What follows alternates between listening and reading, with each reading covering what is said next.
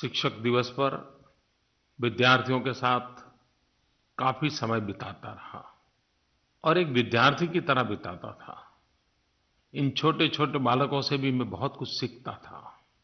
मेरे लिए 5 सितंबर शिक्षक दिवस भी था और मेरे लिए शिक्षा दिवस भी था। लेकिन इस बार मुझे G20 समिट के लिए जाना पड़ रहा है। तो मेरा मन कर गया कि आज मन की बात में ही मेरे इस भाव को मैं प्रकट करूँ। जीवन में जितना माँ का स्थान होता है, उतना ही शिक्षक का स्थान होता है।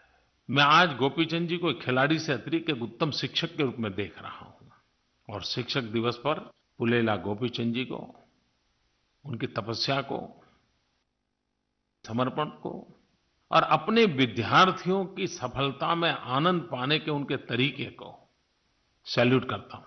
मेरे एक शिक्षक, अब उनकी 90 साल की आयु हो गई है।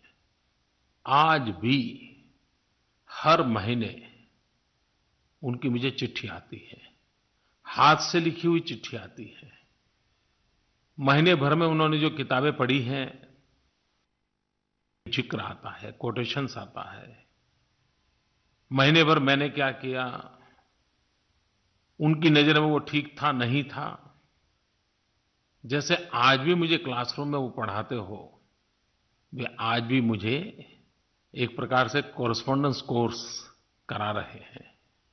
और 90 साल की आयु में भी उनके जो हैंडराइटिंग्स हैं, मैं तो आज भी हैरान हूँ कि इस अवस्था में भी इतने सुंदर अक्षरों से वो लिखते हैं और मेरे बहुत ही खराब है।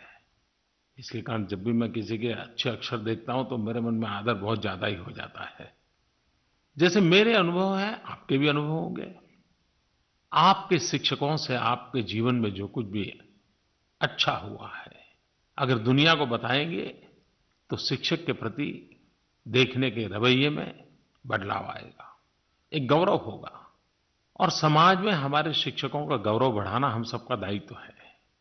आप नरेंद्र मोदी ऐप पर अपने शिक्षक के साथ फ़ोटो हो, अपने शिक्षक का साथ की कोई घटना हो, अपने शिक्षक की कोई प्रेरक बात हो, आप ज़रूर शेयर कीजिए।